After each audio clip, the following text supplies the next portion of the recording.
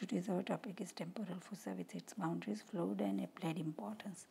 This area is called temporal fossa. So first we will see the boundaries of the temporal fossa. This region is called the frontal bone. This area is called the zygomatic bone. So over anterior side we say this is zygomatic or temporal suture along with the zygomatic bone, frontal bone and this is called a sphenoid bone. So anteriorly this fossa is bounded by the this three bones. If we see here this is the orbital cavity. So here it is forms the posterior part of the lateral side of the orbital cavity the same part. If we see the superior boundary it is formed by the temporal lines. Actually if we see the temporal lines there are two type of the temporal lines. Number one is the superior temporal line and number two is the that is the inferior temporal lines. If you see the superior temporal lines it is actually bounded ended at somewhere in between. But the inferior temporal line starts with the root of zygomatic bone uh, part of the uh, frontal bone and it is continue and continue over the zygomatic arch. So here the superior temporal lines and the gap in between these two lines gives attachment to the temporal fascia while the inferior temporal lines and the area below this covered with the temporal fascia gives attachment to temporalis muscle so here we can see this two temporal lines superiorly forms the superior boundary of the temporal fossa. Now we come to the inferior boundary. As we see with the skull on the lateral aspect, we immediately we see this is the zygomatic arch. If we go still deeper to zygomatic arch, here in between, deeper to zygomatic arch, we find the gap. And deeper to that, there is a body of sphenoid with bounded infratemporal crest of the sphenoid bone and then it continues with the greater wing of sphenoid. So here medially it bounded this deep deep part is formed by the infratemporal crest of the sphenoid bone and lower down there is infratemporal fossa. So infratemporal fossa is connected with the temporal fossa through this gap. So if we, we see the boundary over here, we can see that this is the part of the ramus this mandible. So here it is a ramus of mandible. If we see above this, this is the on the lateral side there is a zygomatic arch.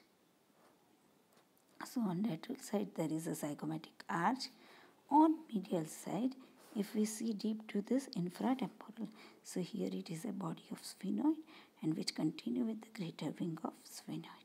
So here this is the part or area forming the that is uh, a here this area is forming the infratemporal fossa and this is the part of supratemporal temporal fossa.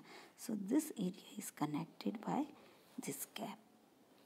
Now so this area is forming the temporal fossa. So now we understand this part this and this is the inferior boundary. Here it is the superior temporal and inferior temporal lines forms the superior boundary and this area is the anterior boundary of the fossa. Now we come to the now we come to the floor of temporal fascia. This area is forming the floor of temporal fossa. The number one, this is the frontal bone, this is the temporal bone, this is the parietal bone and sphenoid bone.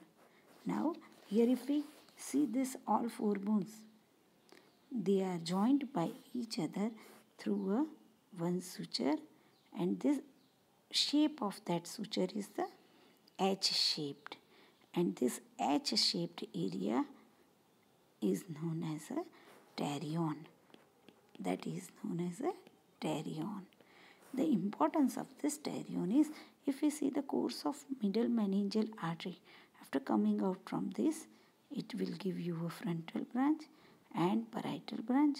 That is the anterior division so along the pterion you find the branch of the medial meningeal artery. Along with that we will find also one vein that is a medial meningeal vein. And along with that middle meningeal vein we also find a structure here a structure of the brain and that is we can see it is like here and that is the this so here this is the stem of lateral sulcus and that point is known as a Sylvian point. So Sylvian point is also lying behind this. So over this pterion we find the two structure artery and vein and that is a middle meningeal artery and vein and the third structure is the structure of the soft tissue brain and that is the lateral sulcus. Now the other importance uh, behind of this pterion is it is a very thin bone as compared to other part of the skull. This is very thin bone. So even a smallest blow can injure over this area. And second point whenever we want to do decompression over the decompression we can do it easily over this area.